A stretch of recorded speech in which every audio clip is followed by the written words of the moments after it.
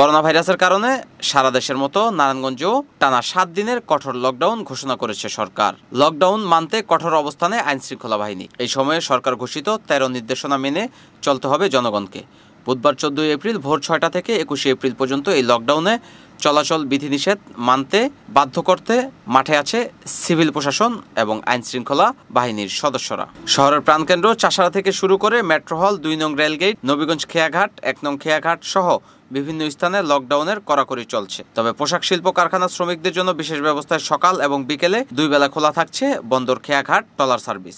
আমরা সরকার নির্দেশ মতো পোশাক শ্রমিকদের পারাপারের জন্য আমরা সকাল ছয়টা থেকে সকাল দশটা পর্যন্ত আমরা শ্রমিকদের পার করেছি এবং আবার বিকাল চারটা থেকে সন্ধ্যা সাতটা পর্যন্ত আমরা সেই প- শ্রমিকদের বাড়ি ফেরার জন্য আমরা পার করে দেবো।